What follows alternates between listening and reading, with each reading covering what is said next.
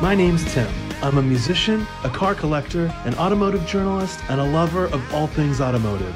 I've bought and sold collectible cars for two decades, and I hope my experiences and my point of view helps you find the car of your dreams. And the car you see here, the Rosso Alfa Alfa Romeo 155 Twin Spark, was one of the cars of my dreams. Once they were legal to import, I got on it. I loved these cars from touring car racing. Tarquini drove the car to victory on numerous occasions, and the car even won championships outright. The car was introduced in the 1992 model year and was made all the way through till 1998. It was designed by a gent named Spada, and he had an eye for design. It was angular, it was wedge shaped, it was a striking car in and out, and moved Alfa Romeo's design language towards the 2000s. And for me, it even echoed that SZ that I love. One thing you'll know I love about cars from this era is that they don't weigh a lot. This car weighed between 2,600 and 3,100 pounds, depending on what spec you got. And you could have anything from a 1.7 liter four cylinder all the way up to a Busso V6. You could even have one of these in four wheel drive that was essentially a Lancia Delta Integrale in this suit. It was called the Q4. I decided I wanted low weight, I wanted something closer to the BTCC spec, and I ended up with a variable valve timing twin spark 2 liter that you see here. Very lightweight car. It's close to 2,700 pounds. It feels very touring car when you're driving it. I've had this Alfa Romeo 155 twin spark for maybe two years now. I don't know. It's been a minute. And uh, I had meant to do a video, and I had meant to do a video. So here is the video. Alfa Romeo 155 twin spark. What is it that convinced me that I needed to import an Alfa Romeo 155? British touring cars, plain and simple. British touring cars is the answer. Uh, British touring car racing, uh, when this car was when this car was new, was an exceptional thing. This car did really well in British touring car racing, and it went on to do really, really well in DTM racing as well, although in a more meaty spec. But I was just in love with the shape. I, I love a good wedge, and this car, even though it's a sedan, has that wedge shape. Now, our particular 155 here was actually brought over by a friend of mine, and he, I told him exactly the spec I was looking for. He knew, you know, once these were allowed in, that I had wanted one. He found one, and, and hey, come over to my house. And I popped over, and there sat on his forecourt was an Alfa Romeo 155, exactly like the one I wanted. So it was very cool to uh, to get a chance to have this car, and it's uh, it's it's a beautiful car in terms of condition. Uh, I've now gotten a chance to see about five 155s, uh, both abroad and, and here. I think there's three or four that I've seen in the country. This is by far the cleanest, nicest example. Now, some people would say they, that there's a later uh, four-wheel drive version. Wouldn't that be the one that I would want? It's more high performance. BTCC was was the way for me. It was naturally aspirated, small engine, carry momentum, and carry momentum. This car does very well. Uh, this car feels spiritually like a Mark II Volkswagen, and it responds really well to tight turn-ins, and uh, it is a great chassis for that purpose. You can definitely feel that um, you know that it was going to be good because in that era chassis were a little loosey goosey if I'm honest. And this one uh, is pretty tight feels pretty good. Uh, this twin spark engine has great torque from down low and even has it on top and uh, I have to say I've driven both the V6 uh, which everyone says they love. And it doesn't sound much better than this. This thing, I don't know how Alfa Romeo does it, but even this twin spark car sounds pretty great. Now, supposedly this car has a tune. I, I have no idea. This car uh, you know, makes approximately, let's just say 140 or, you know, on its best day, 150 horsepower. And it feels about like that.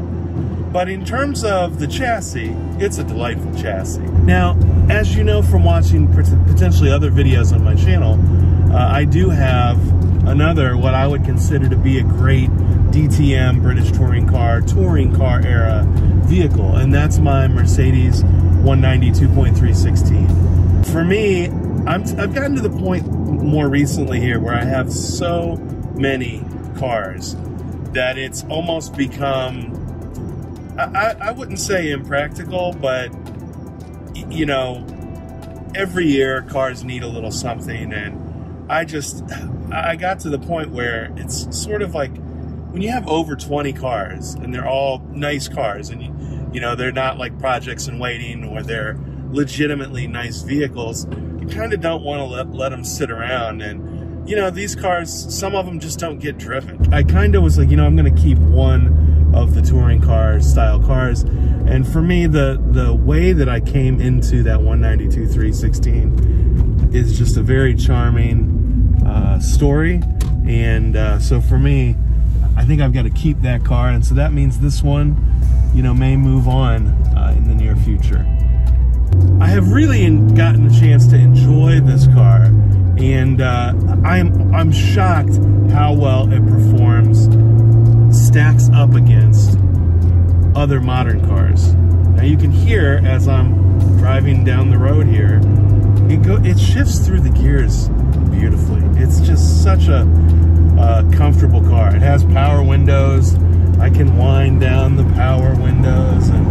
you know it's it's a it's very very much a nice car in the way that a you know you would expect a modern car to be.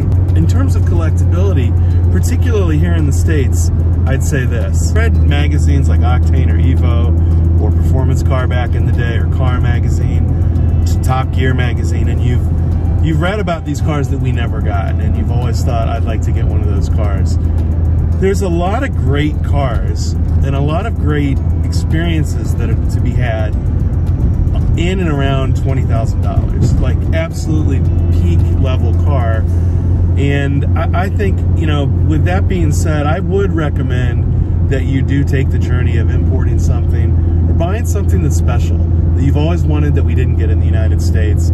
Or if you're watching this and you're not in the United States, uh, you know, uh, an American car in the UK that, that you never officially got in the UK, I would imagine you would have the same feeling. Same thing for South Africa, same thing for Australia. So I would recommend that you go down that journey. Uh, for my kids and I, you know, we talked about the 155. We watched the videos. So it's been nice to, to sort of have them uh, enjoy.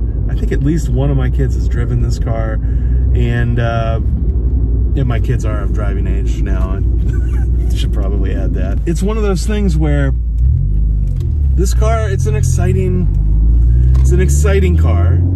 Uh, the 155 in particular, I think is, I, I, I just think when I think of Alfa Romeo, particularly from this era, it's the best looking Alfa Romeo from this era. Now, that could be me, that could be, I, I know that style and looks are subjective, and maybe that's just what I think, and, and that's how I feel.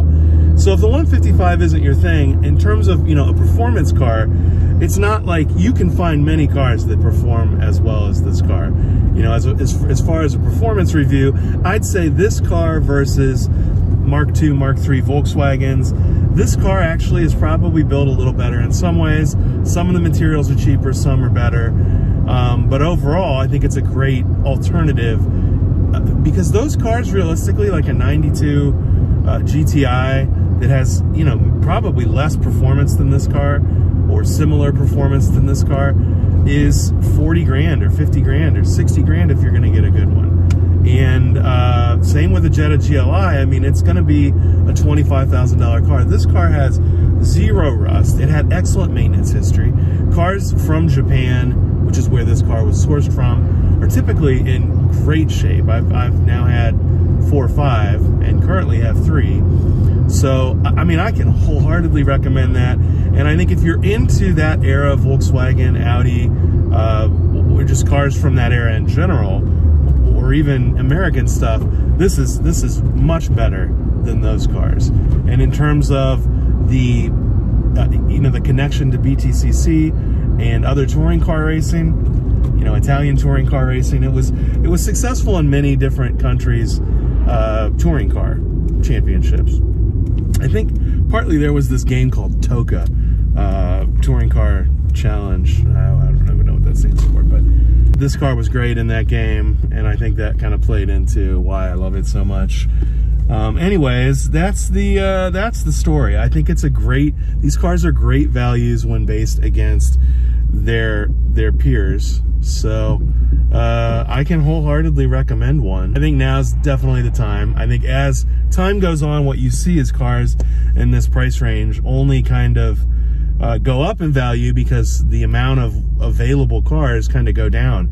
Uh, when I bought this car, uh, there were more available now. You know, if I wanted to replace this car, I'd probably have to pay uh, significantly more. You have seen prices go up a little on everything. Anything that was a part of that touring car era in that 80s and 90s, late 80s, early early to mid 90s era, it, was just a very special era. Not just special for me, but I think probably for a lot of you.